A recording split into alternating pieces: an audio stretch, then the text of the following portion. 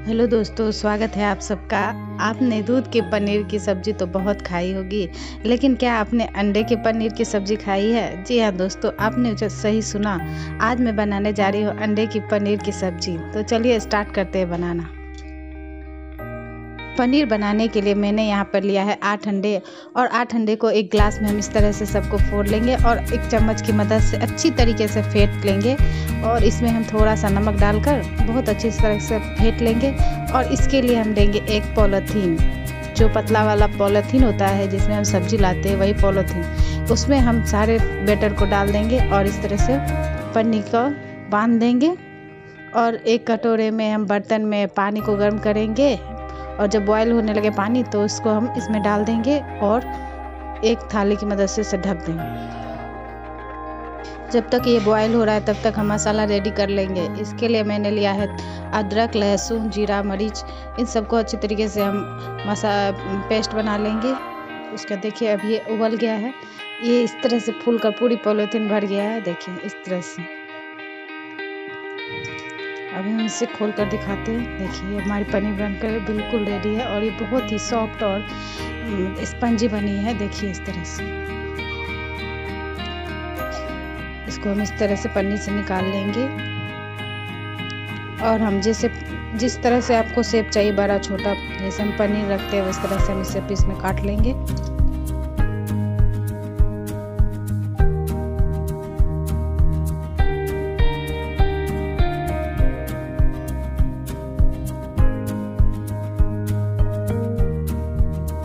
सारे पनीर को इस तरह से काट लिया, देखिए इस तरह से।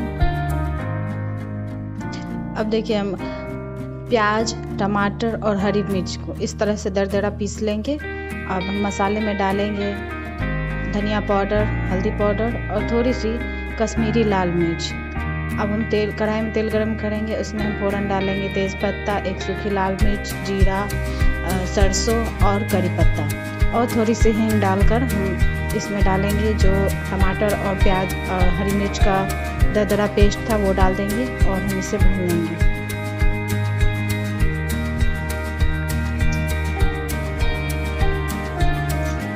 जब ये आधा पक जाए, तब हम इसमें डालेंगे मसाला और इसमें हम स्वाद के अनुसार नमक डालेंगे और अच्छी तरीके से मसाले को हम भून लेंगे।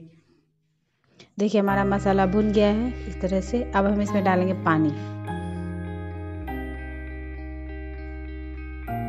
रस हमें गाढ़ा रखना है। आपको जैसा रखना है, पतला, गाढ़ा, लेकिन गाढ़ा बहुत ही टेस्ट लगता है। देखिए इस तरह से। अब हम इधर पनीर पनीर को फ्राई करेंगे।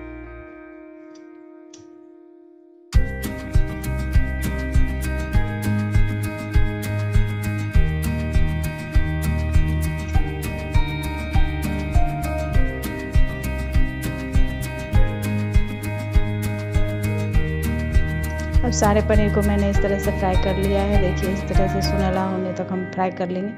अब हमारा जो रस बन गया है उससे हम थोड़ी से बॉयल कर लेंगे, गरम कर लेंगे। उसके बाद हम सारे पनीर को इसमें डाल देंगे। और थोड़ी देर के लिए बॉयल होने देंगे।